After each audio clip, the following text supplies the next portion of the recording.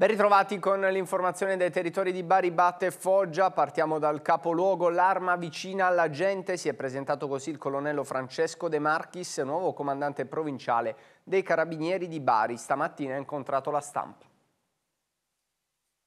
Contribuire a migliorare la sicurezza dei cittadini e consolidare quella funzione di rassicurazione sociale che è da sempre nel DNA dell'arma. Si è presentato così il nuovo comandante provinciale dei Carabinieri di Bari, il colonnello Francesco De Marchis, 49 anni, origini romane, subentra al generale Fabio Cairo. Dal 2016 al 2021 ha prestato servizio presso il gabinetto del Ministero della Difesa. Due lauree, sposato, ha due figli. Qual è il suo messaggio che lancia ai cittadini? Il messaggio eh, che lancia ai cittadini è quello di eh, affidarsi con fiducia ai carabinieri eh, che sono presenti ehm, in maniera capillare eh, nella provincia di Bari, eh, troveranno sempre una disponibilità all'ascolto, eh, troveranno sempre un'attenzione alle loro esigenze, troveranno sempre una sensibilità rispetto alle istanze eh, rappresentate. È questa la chiave per continuare ad alimentare quel sentimento di, di fiducia dei cittadini nei confronti dei carabinieri e più in generale delle istituzioni. Il colonnello De Marchis giunge a Bari in un momento delicato, quello della ripartenza. Sarà certamente una fase delicata eh, nella quale eh, l'Arma dei Carabinieri, al pari delle altre forze di polizia, eh, darà il suo, il suo contributo. L'auspicio è quello che anche in questa fase delicata di ripartenza eh, i carabinieri possano continuare a dare il proprio contributo, così come hanno fatto anche eh, durante la fase del, del lockdown, eh, alla ripresa delle attività eh, sociali ed economiche. C'è sempre carenza di personale nei Vigili del Fuoco di Capitanata in estate lo si avverte maggiormente. Il distaccamento di San Giovanni Rotondo è stato istituito ma non è ancora attivo. Una carenza di personale cronica quella dei vigili del fuoco in capitanata che soprattutto in estate risalta mettendo in evidenza tutte le conseguenti criticità. Il buco è di una trentina di uomini sui circa 300 attivi nella sede di Foggia e nei sei distaccamenti di Cerignola, Manfredonia, San Severo, Deliceto, Vico e Lucera. Manca all'appello quello di San Giovanni Rotondo, istituito ma ancora inutilizzato proprio a causa di una pianta organica insufficiente. Di qui la PEC inviata dalla WILPA dei Vigili del Fuoco di Foggia al Ministero dell'Interno e al Capo Dipartimento per chiedere un rapido incremento di organico senza costi per l'amministrazione. Come mai nei vigili del fuoco di Foggia c'è sempre questa cronica carenza di personale? È dovuta soprattutto ad un blocco delle mobilità per quel personale eh, neoassunto che ha l'obbligo di restare nelle sedi di prima assegnazione per almeno due anni. In questo periodo dell'anno si sente ancora di più questa carenza. Oltre agli interventi ordinari, quali incendi appartamento, eh, incidenti stradali, soccorso a persona, dobbiamo fronteggiare incendi di tipo boschivo, di grano, sterpaglie, che quest'anno rispetto agli anni precedenti è eh, quasi raddoppiato. Il Gargano spesso d'estate brucia una sede che potrebbe essere utile, quella di San Giovanni Rotondo, vista la sua posizione, però non è al momento attiva. Perché? Perché appunto non abbiamo uh, l'organico sufficiente per garantire i numeri minimi. Proprio per questo abbiamo chiesto un uh, incremento straordinario di organico, utilizzando magari una mobilità straordinaria di quel personale che è uh, operativo in altri comandi ma residente della, nella nostra provincia. Veniamo ora alla protesta dei disabili a Bari. Dopo l'incontro con il presidente Emiliano in nottata è stato raggiunto l'accordo con il gruppo che da qualche giorno aveva occupato la presidenza della regione.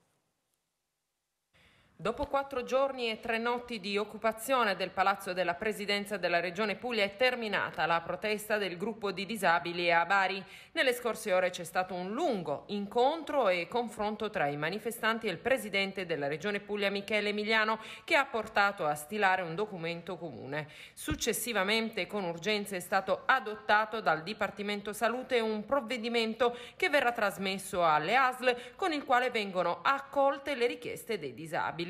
A risultato incassato, il gruppo di manifestanti ha lasciato il Palazzo della Presidenza e il presidio sul lungomare.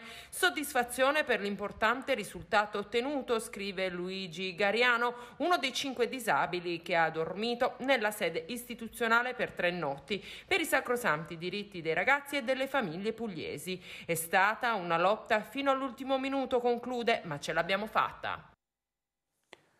Parliamo adesso del Parco della Giustizia di Bari, passaggio politico importante in vista del prossimo decreto sulla nomina dei commissari straordinari per le grandi opere previsto a ottobre, tra queste anche proprio il Parco della Giustizia.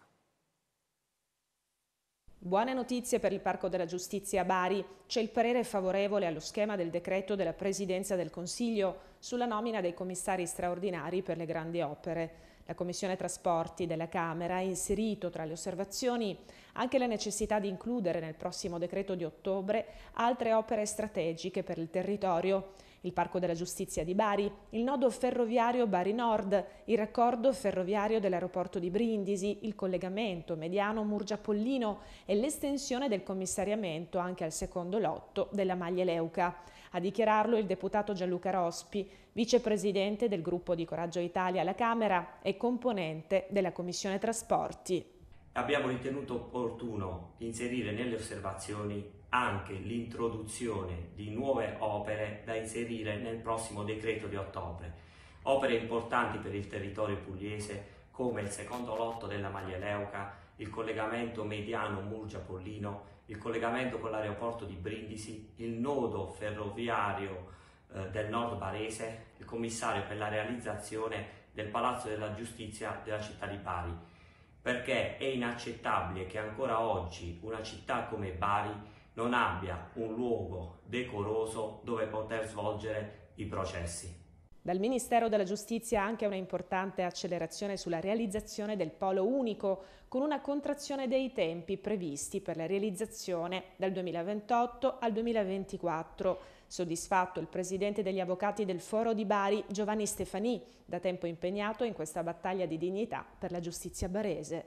Si riaccendono le speranze sul Parco della Giustizia Bari, la sede unica e nuova per tutti gli uffici giudiziari della Corte di Appello di Bari tanto in forza delle dichiarazioni di recente esternato dal sottosegretario alla giustizia onorevole Sisto, che avrebbe ottenuto peraltro anche l'abbreviazione dei tempi sulla realizzazione del primo lotto dal 2028 al 2024 e ci ha altresì riacceso la speranza di vedere assegnare il Parco della Giustizia fra le opere da destinare al commissariamento. Ci auguriamo quindi che in questi mesi si possa vedere finalmente realizzata la, la speranza della comunità barese Andiamo adesso a Foggia, è stata assegnata ad un consorzio di cooperative sociali la cosiddetta Villa Lanza, bene confiscato alla mafia foggiana, grande soddisfazione per l'associazione Giovanni Panunzio che ora propone un nome nuovo.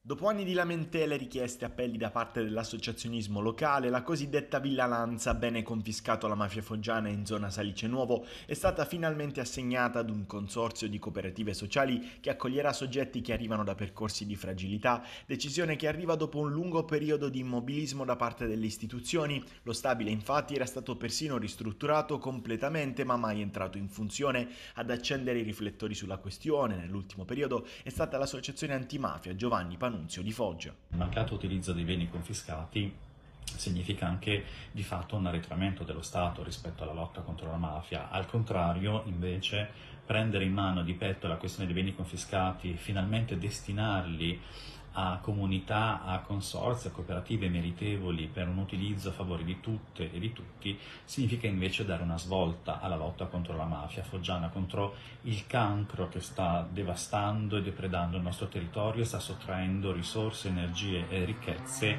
alla comunità foggiana. E quindi questo è sicuramente un esito per noi molto positivo. Eh, tra l'altro nel, anche nel gergo giornalistico è invalso l'utilizzo dell'espressione vigilanza, perché utilizzarla ancora in realtà? Eh, perché invece non cambiare nome e non ricordare più eh, il fatto che quel bene apparteneva alla mafia foggiana? Perché non intitolarlo, ad esempio, non chiamarlo come casa di comunità Giovanni Panunzio? Giovanni Panunzio vittima di mafia, che merita di essere ricordato in modo eh, doveroso e corretto da parte dei foggiani e delle foggiane per il suo sacrificio, per essersi fatto uccidere a 51 anni, per aver detto no al racket. Andiamo adesso a Bitonto, la Lega oggi ha manifestato in piazza per sostenere anche attraverso un contributo economico le due imprenditrici titolari di un bar incendiato due volte in pochi giorni, due anni fa e ora lasciate completamente sole, scrive il partito di Salvini. Abbiamo voluto dare, ha dichiarato il capogruppo in Consiglio regionale Davide Bellomo, un segnale di concretezza rispetto alle promesse fatte dall'amministrazione a Baticchio che aveva promesso di essere vicina a queste due giovani donne e non lo ha fatto, aveva detto di voler dare un piccolo contributo, un segnale di speranza e non l'ha fatto. La Lega di Bitonto, a cui va dato atto della vicinanza, scrive Bellomo, della vicinanza a queste due imprenditrici, ha fatto esattamente il contrario, ha dato un segnale concreto e poi ha parlato. Andiamo a San Severo, due colpi di pistola a salve sono stati esplosi nel primo pomeriggio contro l'abitazione dove viveva Matteo Anastasio, il pregiudicato 42enne ucciso a San Severo appunto durante i festeggiamenti in centro per la vittoria dell'Italia agli europei di calcio. Nello stesso agguato è rimasto gravemente ferito il nipotino di 6 anni raggiunto da un proiettile all'addome a quanto si apprende. I colpi di pistola potrebbero essere stati esplosi da un uomo in sella a una moto, è intervenuta la polizia che ha avviato gli accertamenti per accertare se si sia trattato di una intimidazione o di una bravata. Andiamo adesso a Bari, indagini sono in corso da parte dei carabinieri su un'aggressione avvenuta ieri sera ai danni di un turista su un bus diretto in aeroporto. L'aggressione è avvenuta attorno alle 22.30 nel quartiere San Paolo. Il turista, un 67enne diretto a Bergamo, è stato colpito alla testa con un martello in gomma da uno sconosciuto che lo ha derubato del borsone. La vittima che si trovava in compagnia del figlio minorenne ha riportato lesioni con 15 giorni di prognosi Cambiamo adesso del tutto argomento e torniamo al Teatro Petruzzelli dove c'è il Ministro dello Sviluppo Economico Giorgetti, si parla di ripartenza, si parla di ripartenza e di economia dopo aver parlato di cultura con Vittorio Sgarbi, per noi c'è Antonio Bucci, buonasera Antonio.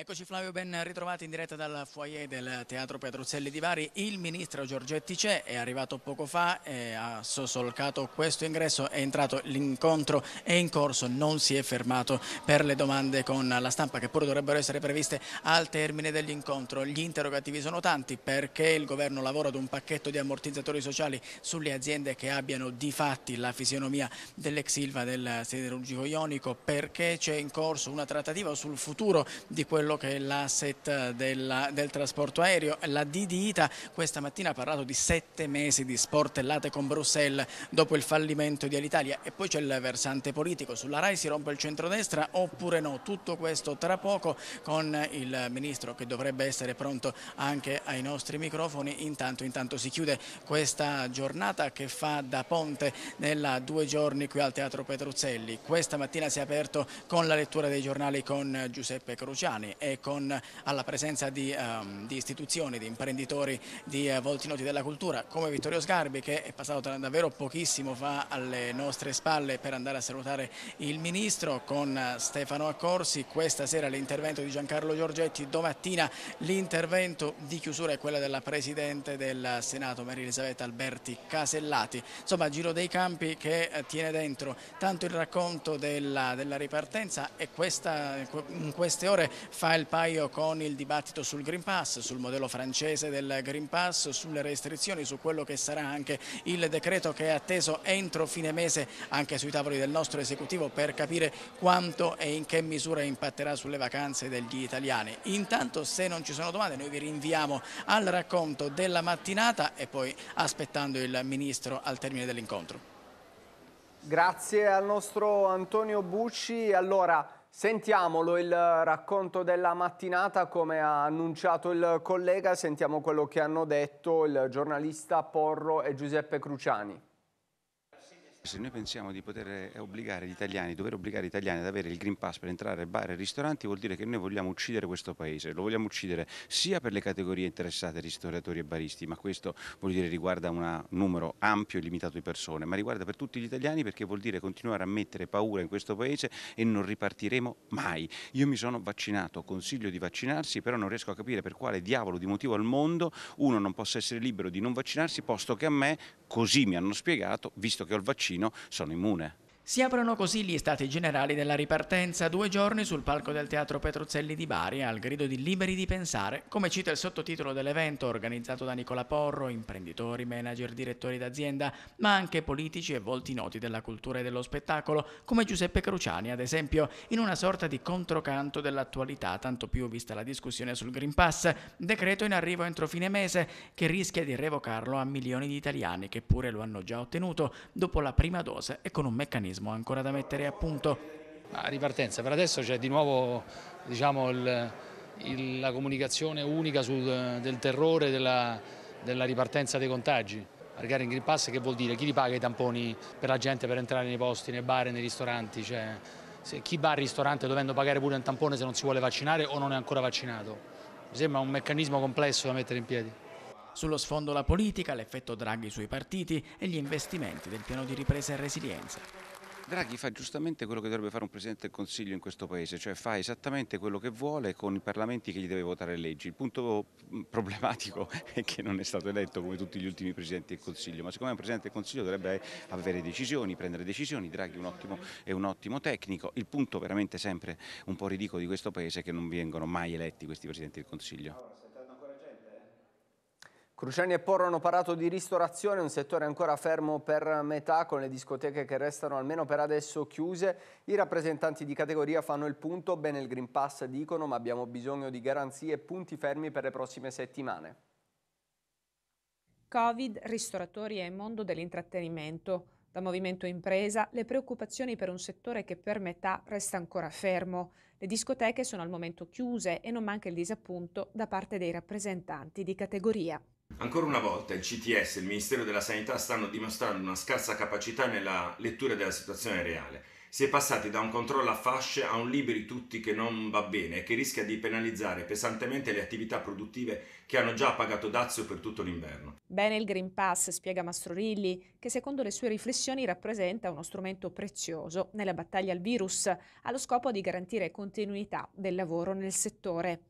Per quanto riguarda il Green Pass siamo assolutamente favorevoli nel principio, perché con l'avvento dei vaccini bisogna arrivare a separare il virus e non le persone, per cercare di tornare a una vita il più possibile normale. Allo stesso tempo l'onere del controllo non può essere dato ai gestori dei locali, ma dovranno essere le forze dell'ordine a fare dei controlli a random.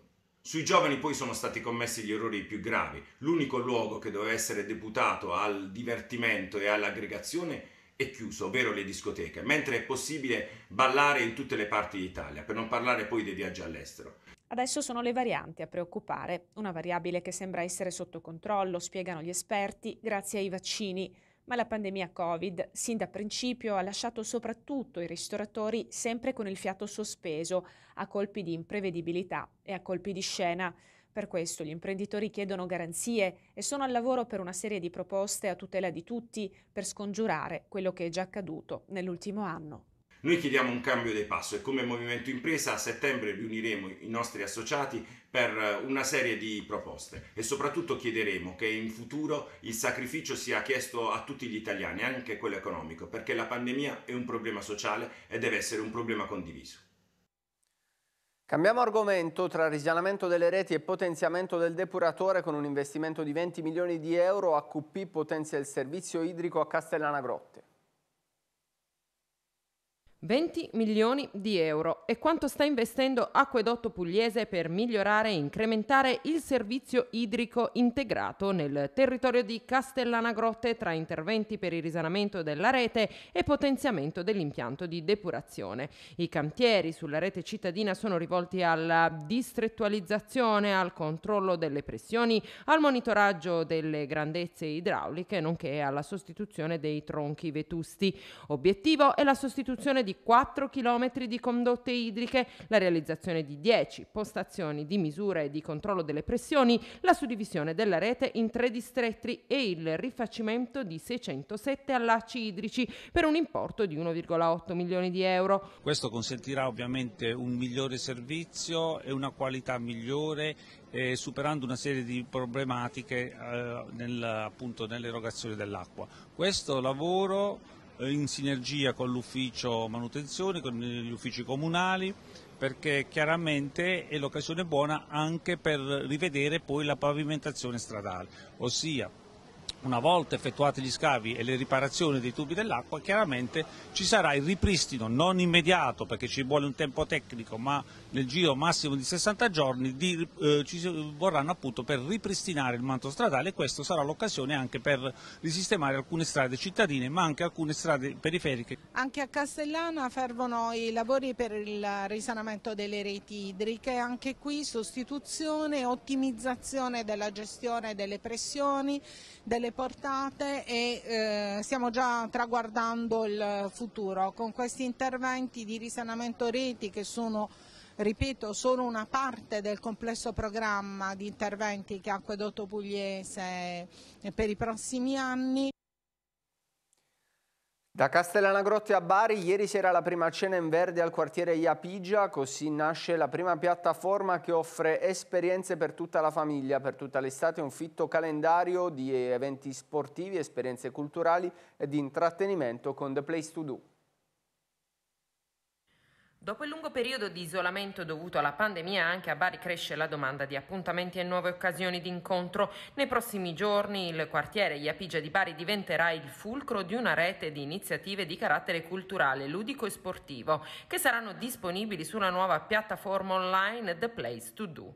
Numerose attività si svolgeranno all'aperto nella Piazza della Pace in collaborazione con le associazioni cittadine. Campi estivi per bambini, laboratori di orticoltura naturale, corsi di yoga, laboratori di teatro Kids and Teen, English Summer Camp, corsi di fotografia, workshop di cucina e fai da te, corsi di cucito, make-up e sommelier. Il percorso prosegue con altri appuntamenti selezionabili direttamente sulla piattaforma theplacetodo.com.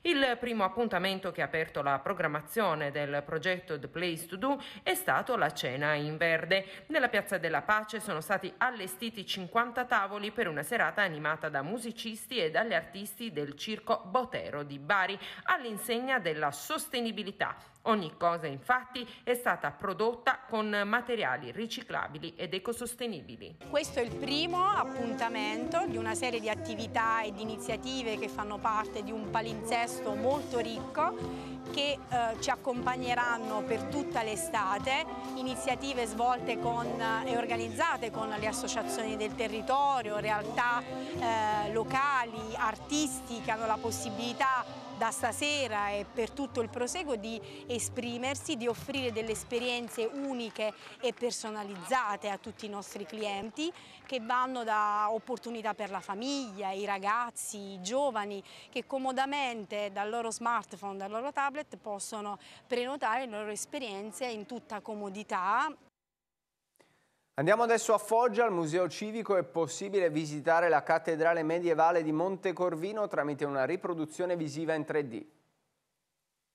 Visitare la cattedrale medievale di Montecorvino riprodotta virtualmente attraverso la tecnologia visiva, allo stesso tempo ascoltare i riverberi, l'acustica i suoni dell'edificio che fu dimora di Sant'Alberto, oggi conservato solo nelle fondamenta, nel Museo Civico di Foggia archeologia e scienza si incontrano per permettere un vero e proprio salto nel passato. L'iniziativa intitolata Archeoechi, Archeologia 3.0 è promossa dalla cooperativa sociale Frequenze nell'ambito del progetto Stupore al museo, nato con l'obiettivo di promuovere l'accessibilità, l'uso l'uso consapevole e la conoscenza dei beni culturali e degli istituti di cultura nei bambini e ragazzi fino ai 13 anni. Grazie ai visori Oculus Go e alle moderne tecniche di ascolto immersivo è infatti possibile esplorare la cattedrale riprodotta visivamente e riascoltare la sua acustica originale. L'esperienza è possibile grazie alla prima applicazione di archeoacustica sviluppata dalla startup Aural Tech, vincitrice del bando PIN Pugliesi. Nel corso dei primi due appuntamenti del mese di luglio nella sala Mazza del Museo Civico di Foggia i partecipanti hanno indossato i visori e le cuffie per poi viaggiare indietro nel tempo all'anno 1000, quando Montecorvino rappresentava uno dei punti vitali del sistema di difesa strategica per la sicurezza della Puglia e la cattedrale era un'importante sede vescovile. Oggi dell'antico edificio di culto resta poco, ma grazie a questa iniziativa è possibile conoscerlo comunque più da vicino. L'evento è gratuito, l'ultima data è prevista per il 20 luglio. Gianna Nannini, Samuele Bersani, Panariello e tanti altri per l'estate tranese di Fuori Museo tra musica, spettacoli e appuntamenti speciali. Musica, spettacoli, eventi ed una serata speciale nel segno di Don Pasquale Uva. Piazza Duomo a Trani è pronta ad ospitare fuori museo La Kermesse ideata e organizzata dalla Fondazione Seca Polo Museale di Trani che riparte con i grandi appuntamenti live che da agosto a settembre porteranno prestigiosi nomi della musica e dello spettacolo sul palco allestito davanti alla maestosa Cattedrale di Trani.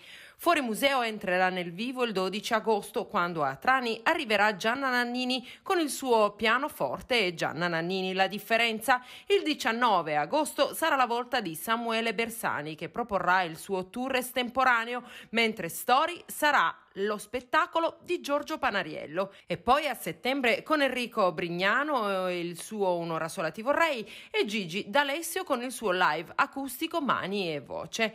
Novità di questa edizione 2021 di Fuori Museo, la prima edizione del Premio Nazionale Don Pasquale Uva, ma per scoprire il nome di chi riceverà il riconoscimento bisognerà aspettare l'11 settembre. Aver riproposto, aver coinvolto così tanti innanzitutto operatori.